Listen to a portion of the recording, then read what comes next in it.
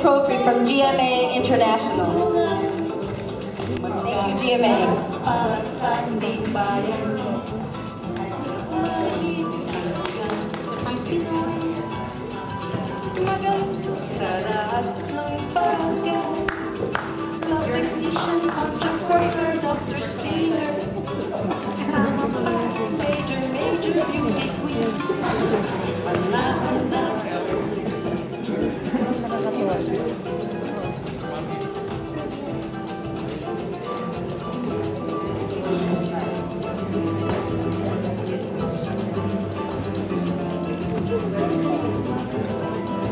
This, these awards are from GMA TV, and maybe, maybe, no, that's okay.